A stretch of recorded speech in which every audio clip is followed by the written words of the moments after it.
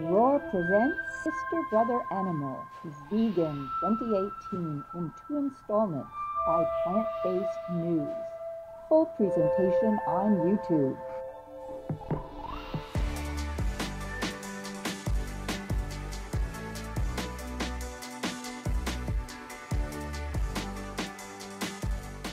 In our previous film, we showcased the increasing health, environmental, and ethical awareness around the globe as more and more people began to speak out. Why do we rarely hear climate change campaigns targeting the animal agriculture industry?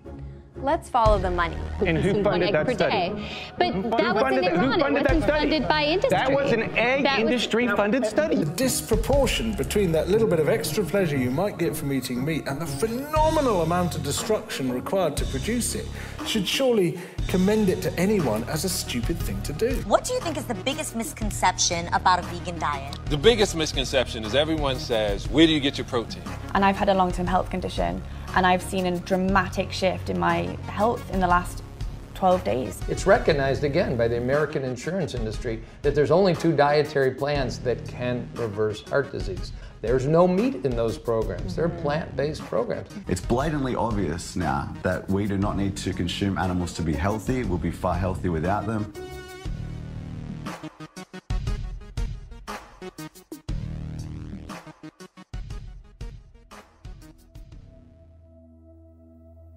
As veganism continued to grow in popularity and garner mainstream appeal, the meat industry found themselves under increasing pressure. You say yourself you have a vested interest, Cormac, in this. Are you worried about veganism growing in popularity? Because the meat and dairy industry, let's be honest and not pull any punches, it's a sunset industry.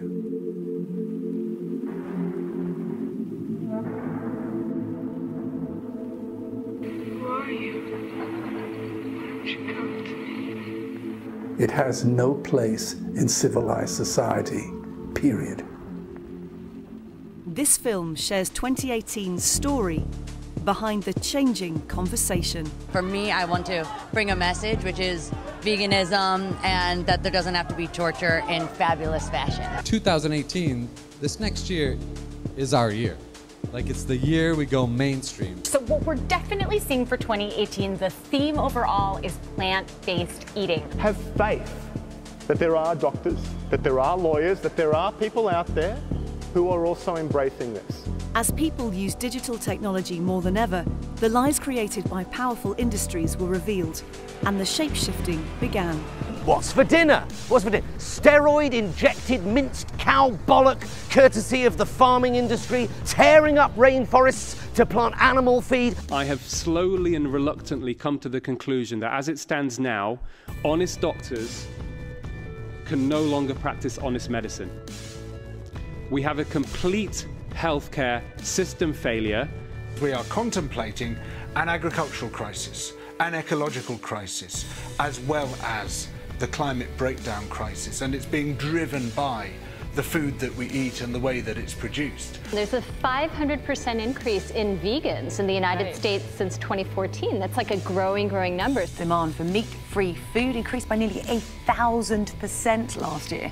And the number of people who are going vegan has quadrupled in the last five years. Now, more and more people are cutting out meat and dairy products and adopting a plant based diet. And if we can live well without causing harm to other animals, why wouldn't we? So Well, I, I would- I agree. You know what? I agree with you. I'm just going to say it. I agree with you completely there. You know, the evidence is clear. Uh, the, the future is definitely plant based. It's not just a trend, it's not just a phase. People have been hit with multiple sources of information, and it has, still hasn't hit everybody, but more and more people are seeing some pretty dramatic and compelling research. There's more and more vegans all the time. There's more and more people taking that emphasis to change their life and be active and to spread the message. In 2018, I have seen an explosive growth in the vegan movement. We're going to be looking at a very, very different world in about five years where a huge percentage of people will be vegan. I think we're very close to that tipping point. What was once a fringe movement is now mainstream. There's no stereotype anymore. I mean, we really are heading into a plant based revolution. The world is changing.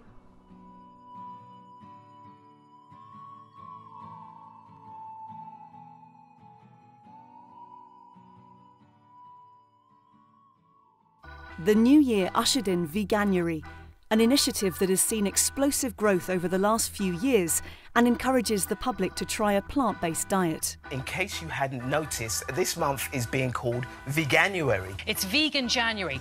It's people cutting back on meat and dairy foods for their New Year's resolution. And many retailers and restaurants have picked up on the trend. In January 2018, it broke new records, grabbed headlines, and set off a series of TV debates.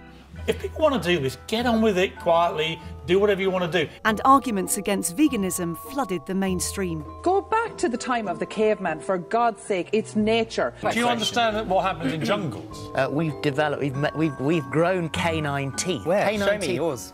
Put me right off him. I found it. He was a wimp. Because he couldn't order a good steak, like a red-blooded man who can order a good steak. So if you think about PETA and environmentalist groups, veganism, they're all able to exist now in 2018 because of the meat eaters of the past who built this amazing civilization that allows unfocused adults to chase their fringe causes. What do you mean it's not a thing? People eat meat just stupid. Not eat meat. That's just stupid. It's not a real thing. Why is it stupid? Because everybody likes meat. How would you know unless you ate it? Hey, who can't eat a good piece of bacon? And you say that people who are on vegan diets are malnourished, and people who are malnourished are more likely to commit crimes. Presumably, you're not going out and collecting your own nuts and seeds and plants, are you? No, and so I think- Who's killing those plants? I- I oh, for think- you? Seriously? but, okay. Who's killing all those plants? Well, who's collecting them? Because you make the point Someone's about ripping them out of the workers. The anti vegan backlash continued when iconic cooking show Great British Bake Off announced it was going vegan for a week, with some unable to hide their fury on social media, boycotting the show on principle. Vegans were branded demons at meat industry conferences, senior editors made jokes about killing vegans, and the rhetoric on mainstream media became weaker and even irrelevant. Now, if you look at avocados, for example, which many vegans consume, and we're now consuming six times um, the, the, the number of avocados here in the West uh, than five years ago, even. You know, the, the Mexican rainforest is being completely destroyed. But is it possible that the vegans and the vegetarians have gotten hold of the agriculture department and infiltrated it, so to speak, and are pushing a meatless menu on the rest of the world? Americans eat two times as much meat as anybody else in the world. Well, that's because we win all the world wars, Mom. We gotta go. We're undefeated. You don't think a cow's a steak, do you? Oh, I don't want to think about it. Arguments against veganism were tested on mainstream platforms, and the debate was raging. If you saw an animal die, right? Hmm. If you saw the animal die, if I slaughtered a, if I slaughtered the beef in front of you, could you then eat a steak? Because that's the hypocrisy I can't get. Would anybody here go plant-based? No, but those are practical questions. I want to get to the root question, the moral question. Do we do we have dominion over the animals, or are they our peers? Angie says there is real evidence of a plant-based diet being not only healthier for the individual, but the planet. Now veganism was gaining mainstream appeal, its detractors were finding it hard to provide credible arguments, and their weaknesses were being exposed. I mean, do you show the people that come to your farm things like the you know, the artificial insemination? Do you show them what happens to the calves? Do you show them the pens they're kept in for up to eight weeks at a time where they're not allowed to see their mums, they're not allowed to nurture, they're not allowed to socialise? Do you take them to the slaughterhouse as well and show the knife being pulled across their throat? Or do you keep that bit hidden and just show kind of the cows grazing and being fed? I like to think that we show uh, everyone the full spectrum of, Well, of do farming. do you, or you either do or you don't? Well, I like to think that we do, yeah. So do you show the people that come to your farm what happens to the dairy cows that are taken from their mother? Yes. And do you show the fact that they suckle on people's fingers because they want to suckle from their mother to obtain the milk that we take that is rightfully for them? When you take a calf away from its mum, what is that process like?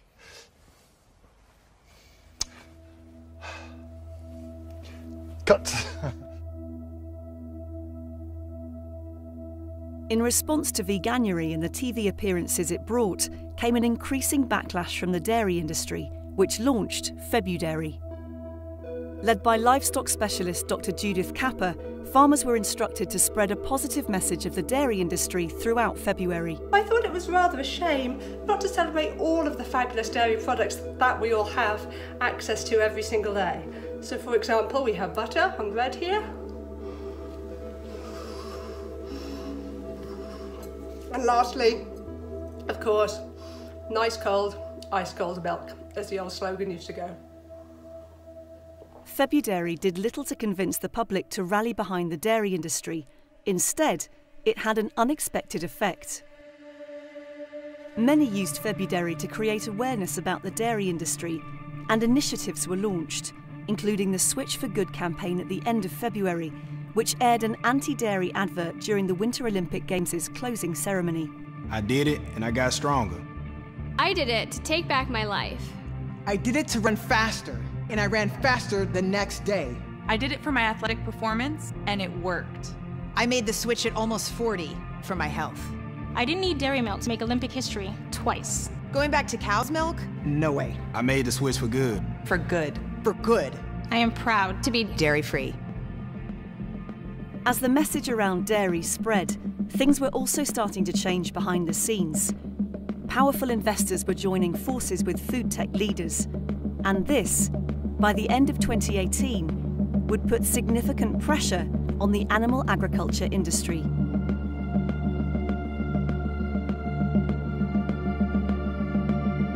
We could produce all the protein required by the world's population in 2050 with 2% of Earth's land if we did it the way we're producing our meat, as opposed to more than 45% of Earth's land that's currently being used raising animals for food.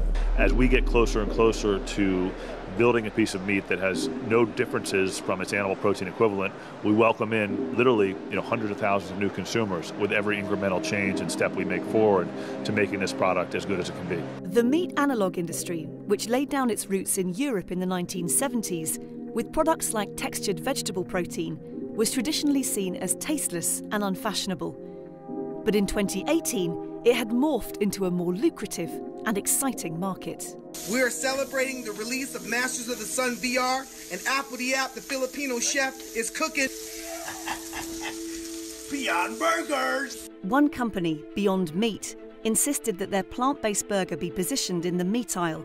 It was a gamble, but knowing the product's taste and texture had begun to mimic traditional meat, bosses didn't want it hidden away in the free from section. Within months of merchandising the burger, it was outselling beef in some stores. In Southern California, in one of the largest conventional retailers in the country, we are now the number one selling patty in the meat case. So ahead of Angus, ahead of 80-20 beef, ahead of turkey, ahead of chicken patties. And our belief is that we will transform the meat section into the protein section. So it's no longer just hamburger, chicken, you know, chicken breast. It's cow protein, chicken protein, and plant protein and the results have been phenomenal. We have launched this now in the two largest retailers in the United States. In several regions, the Beyond Burger is the top selling packaged burger in the meat section. To have that level of interest in the products in the meat case itself this soon was really exciting. Other supermarkets began to position plant based products in the meat aisle. The meat analogue industry quickly attracted high profile investors, such as one of Asia's richest men, Li Ka-shing, Bill Gates, and Leonardo DiCaprio, among others, as influencers around the world became increasingly aware of the impact of animal agriculture. The scale of the impact, of the environmental impact of animal agriculture is really hard to appreciate. It blows almost everything else out of the water. It's responsible for more greenhouse gas emissions than all planes, cars, trains, and other transportation combined. That is really shocking when you read that. Above the fossil fuel industry. It takes at least 10 times as much energy and resources to make a pound of animal protein as it does for plant-based protein. We cannot continue to sustain our population on the level of meat consumption that we are mm -hmm. without having something change. And what we've heard now is that we need to keep it below one and a half degrees um, uh, temperature rise. And in order to do that, we must absolutely cut down on meat and dairy consumption. And so it's the quickest way that we have for grabbing the thermostat of the planet and turning it down. Even if we don't care about ourselves, we have our children. 80% of all U.S. antibiotics are fed to farmed animals leading to dangerous, incurable human diseases. The world has plenty of scope to feed 9 billion, 10 billion, 12 billion people, but not if we're all eating steak and chicken and pork. We, we have to go to that plant-based diet. If, if, you know, if there's to be any fair settlement fair dispensation for the rest of this century so that we don't have a situation where the rich can just pursue whatever desires they want while the poor die as a result. The most striking statistic for me is that 100% of famine is a result of animal agriculture. And I sometimes have people challenge that fact, and I'm like, it takes 280 pounds of grain to make one pound of beef. If you fed that grain directly to people, famine ends. Building meat from plants quickly became a huge scientific research effort. New facilities were set up, and the stage was set for huge change. We live in an age of disruption. We have Uber and Lyft disrupting the taxi cab and limo industry. We have Airbnb disrupting the hotel industry. And we need to disrupt the entrenched fast food industry, those dinosaurs. We are almost 50% preferred by meat consumers over the meat they get today. And so in two three years, we've essentially caught up to the cow. But we're only getting better, and we already know a bunch of ways that we can make our product better from the fat system, the way the flavors generate, the texture and the chew. And as we continue to research and build that with our team, we'll start delivering this. And you know, next year and the year after, it'll be better and better to the point where the cow really is completely obsolete as a technology for food. Oh, you're gonna love this. You can have a great tasting, juicy burger without the meat. Like my husband has an impossible burger and he is like, this tastes like a regular burger to me. I don't know everything else on this thing, but the, the burger itself. What do you think? Mm-hmm. I like it. This thing tastes like meat. It smells like meat. If you put it in the pan or put it in the grill, it acts like meat. And I'm telling you, in the next, let's say, five to seven years, the impact on the meat industry is going to be strong. None of what you see here comes from an animal, not even the egg. What we tend to do, no matter what, is focus on the things that matter. Are we reaching more people? Are we doing it in a way that's actually helping the planet instead of harming the planet? And if the answer is yes to those things, we feel good. And if the answer is not, we feel like assholes. Um, and our biggest question is, is this thing, is this person we're hiring, is this thing we're doing increasing the probability that we do more good? And if the answer is yes, we're going after it. To test this out, we got 10 regular cheeseburgers and then 10 impossible vegetarian burgers to do a little compare and contrast. As businesses capitalised on the selling power of plant based alternatives, many physicians within healthcare dug deeper. Tastes great and you get to live longer. That's what plant based eating is all about.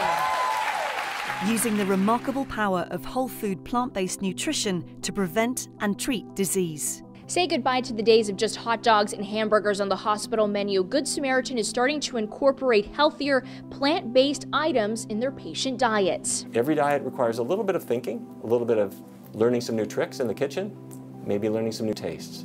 But a plant based diet emerges as not only better for blood sugar control, better for your weight, better for your cholesterol, better for your blood pressure, but better in so many ways that we really think that's the thing to recommend. In 2018, a number of studies were published supporting the increasingly accepted idea that a whole foods plant based diet is optimal for health. One example being a review paper published in Cardiovascular Medicine stating that the only diet shown to reverse heart disease is a plant based diet a sentiment echoed by physicians for a number of years. Heart disease is the number one killer in the United States, and heart disease is reversible and preventable with nutrition. We know we have the cure to heart disease. We have the ability to eradicate heart disease. A plant based diet has also been shown to reverse type 2 diabetes, hypertension, and prostate cancer, as well as prevent 14 of the 15 leading causes of death. Eating a plant-based diet has extraordinary health benefits. Reduced risk for hypertension, reduced risk for high cholesterol, reduced risk for cardiovascular disease. I've seen patients who have full-blown diabetes go off of their insulin completely. Um, I've seen patients with hypertension that have been on multiple antihypertensives for years come off of all of their medications. The British Dietetic Association and the American Academy of Dietitians have both said that a well-planned vegan diet can be a completely healthful and optimal diet for anyone at all stages of life. A discussion opened up, not just about how healthy plant-based diets are, but also about what is wrong with our current system. Right now, we have a system that is based almost completely on sick care instead of health care. We call it health care, mm-hmm. but it really is sick care. It's money and dollars behind sickness. We spend more money in this country than any other country in the world on health care, and we don't have better outcomes. So somebody has to stop and say, hmm, what is going on here? When you eat the, the standard American diet, you get the standard American diseases. And I don't wish chronic disease on anybody. But if people are eating a debilitating diet, they're going to have debilitating diseases. The heart disease, the diabetes, the autoimmune diseases, certain forms of cancer. Milk does a body good. It's not science. It's marketing. It's nonsense. We were made to believe that meat-based diets are superior to plant-based diets, a lie that has been exposed by medical experts again and again and again. When people eat a lot of animal products, particularly meat-based protein, your arteries are more likely to get clogged, your arteries are more likely to constrict, the arteries are more likely to get clogged up with plaque and other things. You get chronic inflammation, which is an underlying cause of so many chronic diseases. Uh, your risk of premature death from pretty much everything goes up correspondingly. And yet, when you go on a plant based diet, you're really getting a double benefit because not only are you not eating the things that are disease promoting, but you're getting literally hundreds of thousands of other substances that are, that are protective. What you put in your body is either going to create disease or fight it. There is no middle ground. I've seen them reverse their high blood pressure, reverse their diabetes, reverse their obesity, simply by telling them to go home and instead of using a scalpel, use a knife and use a fork. Also in 2018, a number of athletes ditched animal products and films were announced that would slay the myth that you can't be strong as a vegan. Someone asked me, how could you get as strong as an ox without eating any meat? And my answer was, have you ever seen an ox eating meat? Vegan athletes started appearing in major magazines, with bodybuilder Nimai Delgado gracing the cover of Muscle and Fitness, and Jeremy Reijnders, the fittest man in the Netherlands, featuring on the front of Men's Health. A lot of people always ask me, like, so where do you get your protein? And a lot of people don't have a clue that there's protein in plants. Stop worrying about the protein because you'll get enough. You know, the strongest land animals, horses, elephants, rhinos, I don't know, gorillas, they get their protein from plants. During the Winter Olympics, Canadian figure skater and decade long vegan Meagan Duhamel made headlines around the world when she claimed two medals. Record holding marathon runner and vegan Fiona Oakes completed the Atacama Ultra Marathon. And as 2018 progressed, Numerous athletes spoke out about how a plant centered approach to eating had made them stronger, including NHL player Zdeno Chara, boxer Mike Rashid, soccer players Hector Bellerin, Jermain Defoe, and Chris Smalling, as well as Lewis Hamilton. I do feel the best I've ever felt in my life, in my 32 years, physically. Do any of you guys still eat meat? No. Nothing? Zero. Or dairy. How hard was that? Not as hard as it is living at 425. Right, yeah, absolutely. I've watched hundreds, if not maybe thousands of people at this point have dramatic transformations. Plant-based athletes from a wide range of sports claimed podium positions in various competitions, from world-class surfer Tia Blanco to powerlifter Julia Trezise Conroy and ultra runner Vlad Ixel, as well as many others who also achieved stunning successes.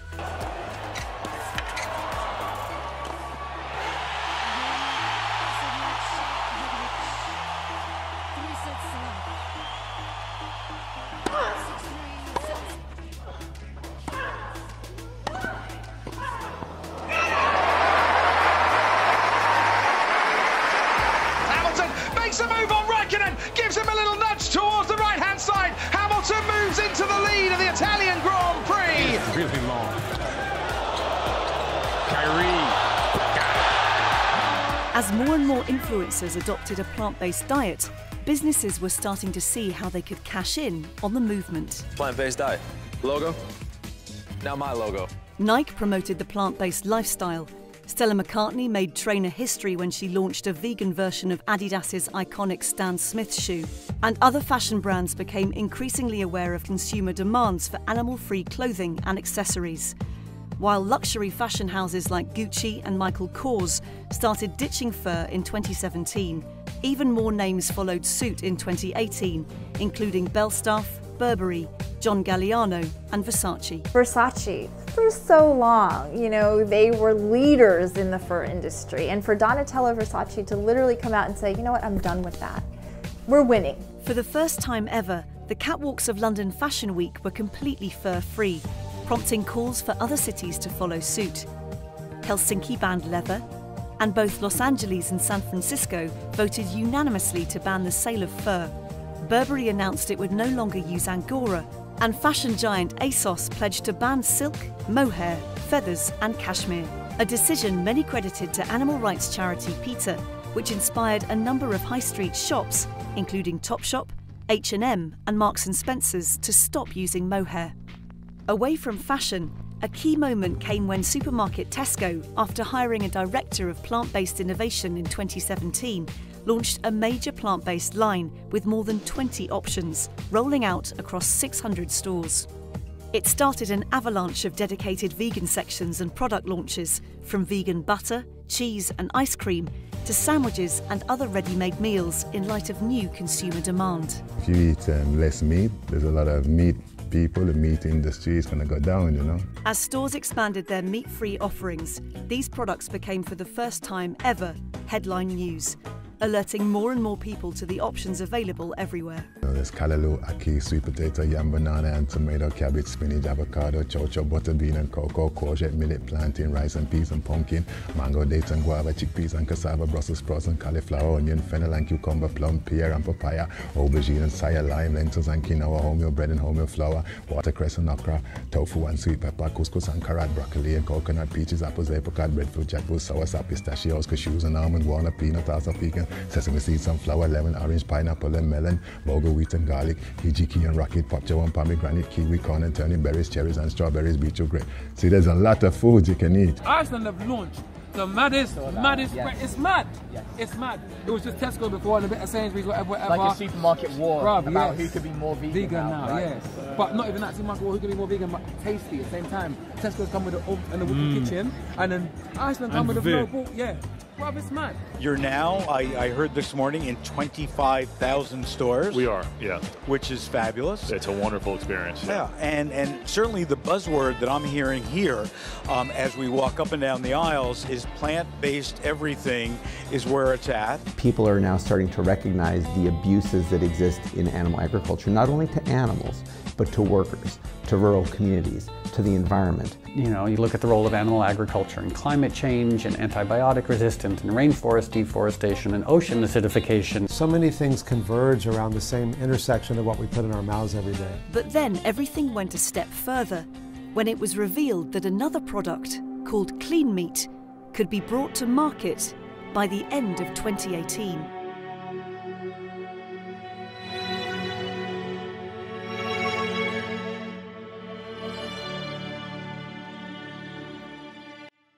Thank you, MNN TV, MNN.org, plant-based news, music, Moby, Roar, reaching out for animal rights, me, we, editing, intro, outro, Nancy Colbert. Resources, vegan.com, Vegetarian Resource Group, VRG.org, Vegan for Life, Norris and Messina, Main Street Vegan, Moran, Mercy for Animals, One Man's Quest, Rumpel, Thug Kitchen, Eat Like You Gave a F asterisk CK.